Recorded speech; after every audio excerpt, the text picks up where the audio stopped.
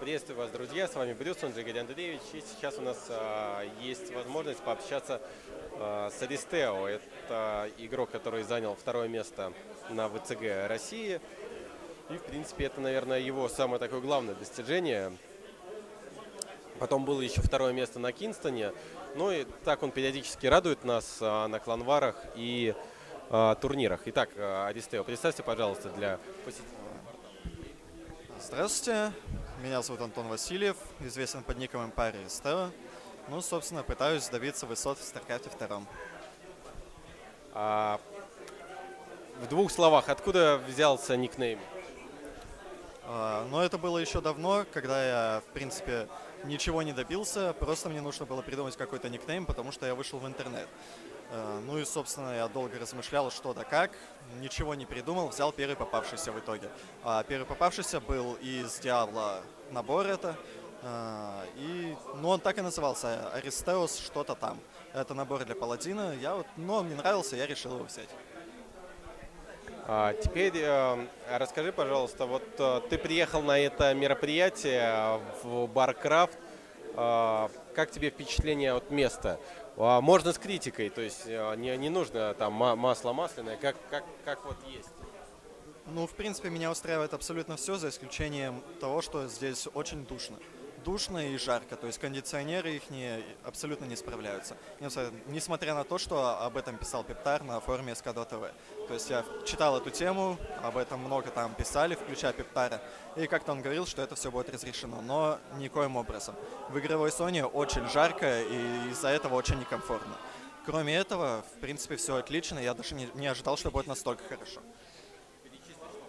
Да, все, обстановка, условия, компьютеры, собственно, само помещение. Ну, хотя, возможно, насчет еды какие-то напряги из-за этого нам пришлось в кафе идти, но это он уже из... заранее нас известил всех, что, собственно, с меню здесь пока проблемы. Так что это было известно.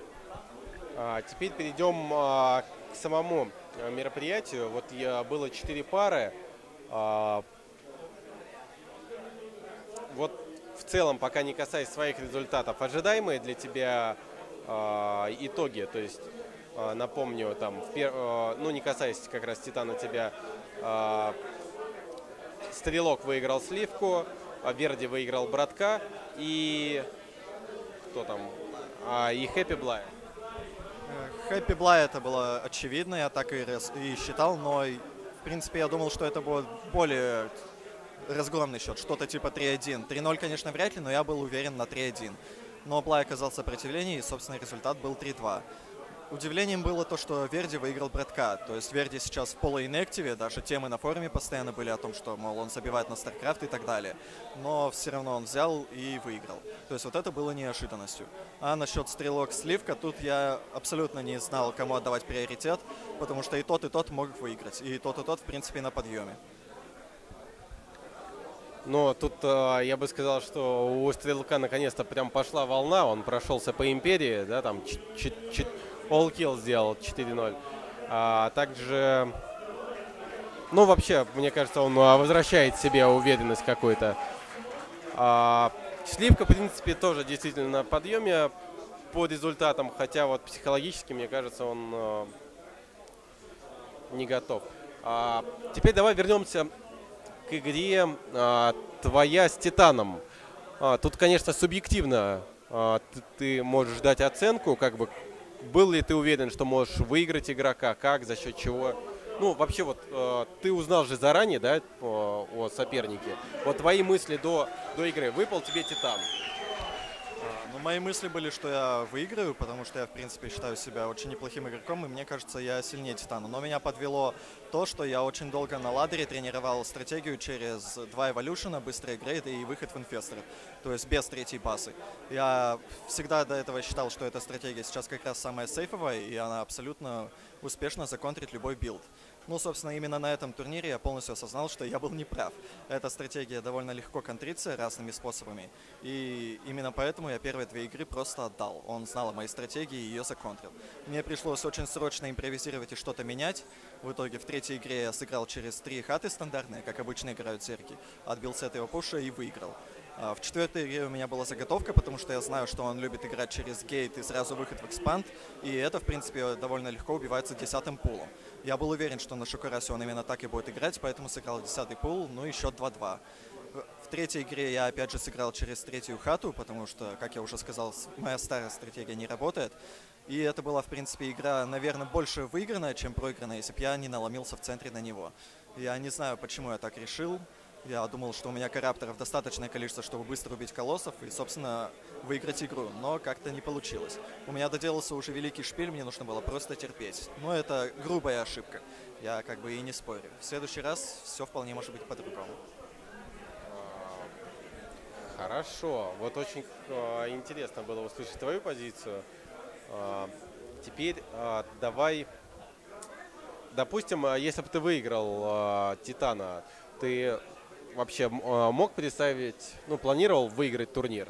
Ощущаешь в себе такие силы? Э, если бы я выиграл Титана, то дальше я, соответственно, попадаю либо на Верди, либо на Брэдка. Я считаю Верди Протосом чуть похуже уровня, чем Титан. Соответственно, если бы выигрывал Верди, то я бы проходил дальше, думаю. Браток в последнее время не показывает результатов, поэтому, в принципе, я думаю, тоже его бы выиграл. И поэтому я был уверен, что если я выиграю Титана, то я пройду в финал. А насчет финала я уже абсолютно не знал, кто там будет. Надеялся, конечно, на хэппи, повторить результат ВЦГ и Кингсона. Это было бы просто приятно, да и с соклановцем, соответственно. Ну и на финал я уже не загадывал. Изначально я хотел просто пройти в финал, а дальше уж как получится. Хорошо. А какие у тебя сейчас вот прогнозы на победу? Кто, кто победит? Но я думаю, в паре Титан-Верди победит скорее Титан, несмотря на то, что ПВП это рандом, но, как я уже говорил, Верди чуть послабее уровнем, поэтому я думаю, это и сыграет свою роль. Хэппи против Стрелка абсолютно не имею понятия, потому что вроде как и Хэппи неплохо играет, и Стрелок неплохо играет, но это вот ТВТ, а я в ТВТ вообще не понимаю ничего, я не знаю, кто там может выиграть. Поэтому, как бы, ну я поставлю скорее на Стрелка, чем на Хэппи, несмотря на то, что ну да. Нет, я хочу, я, я считаю, что выиграет Стрелок больше, чем выиграет Хэппи, именно из-за того, что Стрелок в ТВТ вроде как очень неплох. То есть он недавно прошелся по, по Бистику, Кассу, да, и по Хэппи, и как бы это намекает на то, что его ТВТ вполне неплохое. Поэтому я думаю, у него чуть больше шансов, чем у Хэппи. Но это не значит, что будет для меня удивлением, если выиграет Хэппи. Хорошо, какие у тебя а, ближайшие планы если касательно онлайнов, то тебя уже а раньше тебя всегда ставили первым номером. А, такая вот было для меня удивление, просто смотрели а, с появлением а, корейского зерга в вашей команде.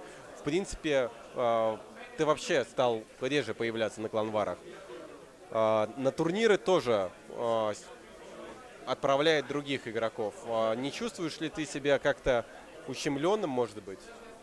Нет, ни в коем, ни в коей мере, потому это все связано именно с тем, что у меня сейчас, как бы так сказать, даунстрик.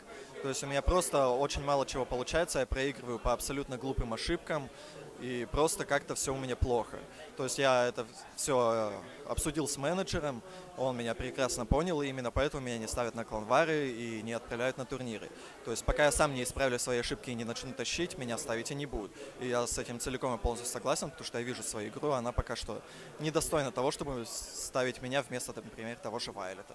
То есть это все признано. А это правда? Вот э, там на форумах пишут, что у вас э, очень сильно зарплата зависит именно от кланваров, выступлений и так далее, и поэтому у тебя сейчас существенно уменьшилась зарплата вот из-за того, что тебя не выставляют. Нет, э, это никоим образом не влияет на зарплату, но точнее это влияет на момент подписания контракта, но с того момента, как она подписана, она стабильна. Ну, тогда тебе желаю побыстрее решить э, свои вопросы. И, может, ты э, скажешь, какой ближайший лан э, ты см сможешь посетить? Честно, вообще не, не смогу сказать. Потому что это все зависит от э, того, насколько быстро я преодолею свой даунстрик.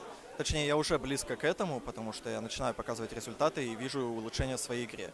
Как только я, собственно, добьюсь каких-то результатов, начну снова выигрывать онлайн-турниры, что косвенным образом намекает на то, что скилл поднялся. Да и просто буду уверен в своих силах, я об этом обязательно сообщу менеджеру, и с ним мы уже решим, какой ближайший лан посетить. Но сразу я сказать не могу.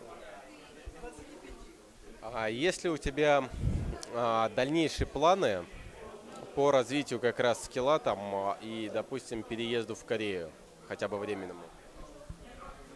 По поводу поднятия скилла, естественно, просто больше тренироваться, упорно тренироваться, ну и, собственно, пытаться поднять скилл. Кроме этого я особо способов не вижу.